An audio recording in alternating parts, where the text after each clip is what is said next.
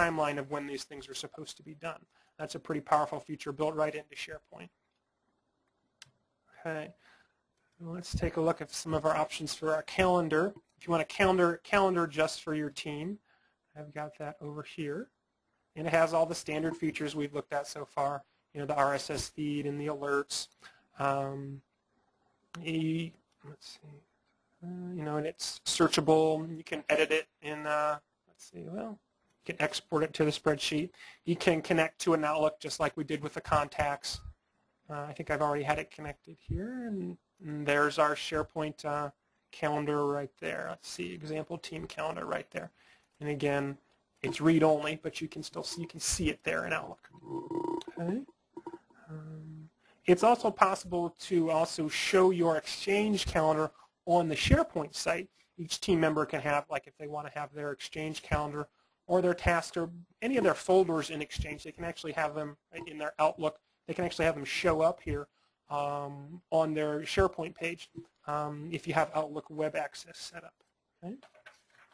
Um, and there's also, the, uh, similar to when we talked about uh, if you have a really important uh, document, we had document workspaces. There's also meeting workspaces you can set up.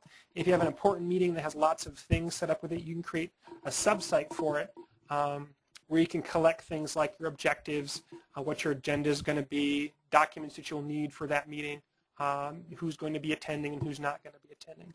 Um, I haven't, we haven't gotten into using any of those yet, but just to show you that that's available. Um, and let's see, there's if you need uh, announcements for your team, if you need a separate set of announcements than what I have on the home page. Um, you've, you've, got that here on the home page, and that has all the, the standard features we've seen in all the other lists and everything. Um, there's also links is another pre-built uh, list if you want to store, let's see, that's actually going to take me to Columbiana County Job and Family Services. It's just a database for different websites, different links that your team might want to know about. And you can set that up so it can show on your home page if you want to, or if they have to go into it on the list over here. Um, let's take a look at um, discussion boards are uh, similar to the forums or listservs that you've seen on other websites. Um, you know, let's see, what's your favorite donut was the discussion that we had here, and there's all the different replies. You can show you a little, you know, who replied what there uh, mostly me, the administrator, uh, and kind of indented like that. Um, and you can um, you can work with these through emails like that email archive that I showed you earlier. You send an email to your group, it goes into that archive. That's actually a, oops, that's actually a, a discussion board. Um, so you can do discussions all through email, and it'll kind of archive it all there on your discussion board on your website. Okay. Um, let's take a look at our wiki here. Um, SharePoint comes with a, a, basic wiki that's kind of your uh, extensible, um, easily extensible knowledge base if you want to think it, where all of your team members can easily edit this, hit the, hit the edit button, and they can make any changes they want to it. They can create new pages using the brackets here. If they want to extend it, they just create a new page. And they go to that page, and they start typing in new stuff. It's a good way to collect kind of uh, free-form knowledge about different th things that your team might want to know.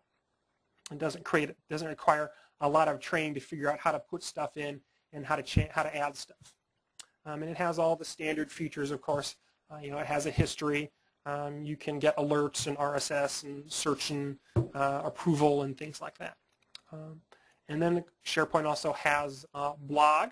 Uh, if you want to set up a blog for your team or just for yourself as the team leader, you know, blogs are kind of a sequential diary. Uh, found them good for uh, minutes from your team meeting, for example, is kind of the stuff that we have right here. Um, you can create posts right here on the website. I can create a new post. I can also email a post. I can set up an email address for my blog and just email a post to it. Um, that's an easy way to get graphics into your blog, I found. Uh, Office 2007, uh, Microsoft Word 2007 comes with a blogging feature that connects directly to SharePoint as well. Um, and of course, you can add comments to your blogs. Let's see, there are some comments that we add. And you can turn on approval for the comments, so you can moderate the comments. Um, and, you know, there's the, the, archive. You can go back and look through all your old posts. Um, let's see. And look at the calendar, you know, when you posted things. Lots of lots of cool stuff like that. And there's categories for your blog as well, so you can so you know, associate your, you know, there's just just the blog post that had to do with meeting notes. Um,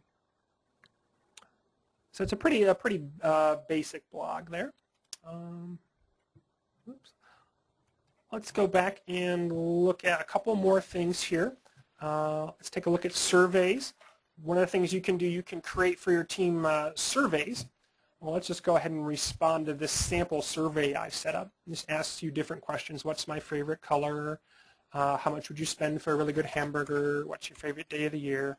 Um, you can all, all, types of different questions. You can have rating scales. How much do I enjoy the seasons? You know, enter enter text, things like that. Um, and you can you can set up an un unlimited number of questions. You can have branching logic in there if they responded this way, have them then answer this kind of questions, or you know if they responded the other way, answer this set of questions.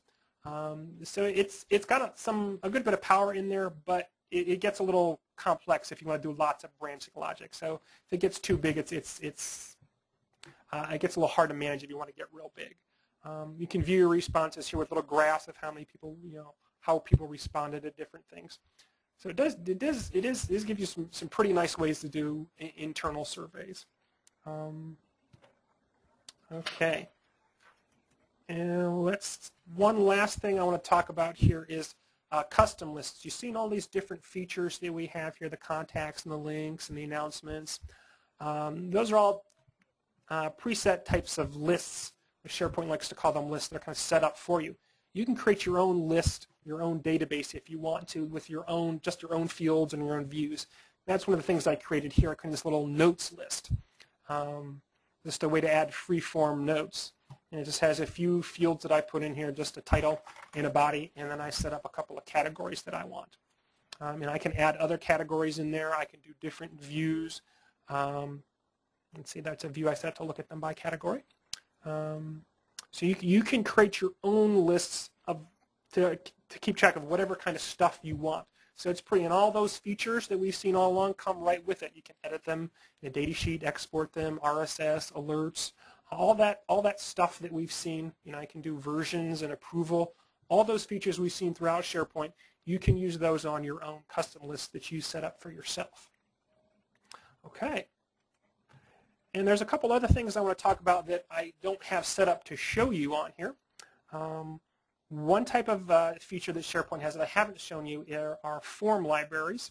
Similar to document libraries, they work with InfoPath forms. InfoPath is one of the lesser known applications that comes with Microsoft Office.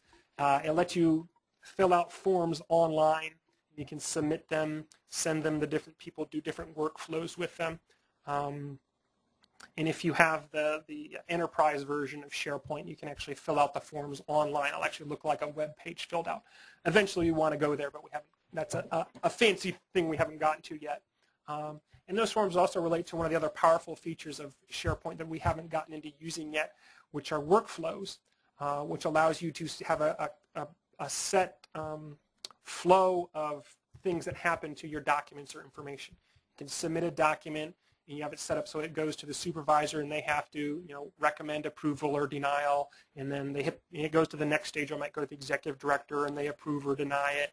And then it might go back to the original user. You could use those workflows for things like um, requests for leave of absences or expense reports things like that have to go through a certain chain of people. Uh, eventually we're going to we're going to start using that but that that takes a little bit of development that we haven't gotten into. Um, Let's see some of the other things we didn't we didn't talk about. Um, let's see.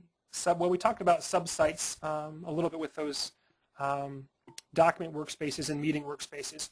You can kind of create sub-teams or sub-projects if you want to. Um, that's kind of like those document workspaces. We have that set up on our, our technology team. Uh, we've got little sub-team sites for them for our website, for our Facebook, uh, for Legal Aid Connect you know, those sub-sites can have their own little set of features directed around that project. Um, a couple other things, there's every site has a recycle bin, actually a two-stage recycle bin. Uh, people delete stuff, it goes into the recycle bin, and then when you empty the recycle bin, it goes into an administrator's recycle bin, so they can rescue things. Uh, SharePoint also has mobile features, so you can view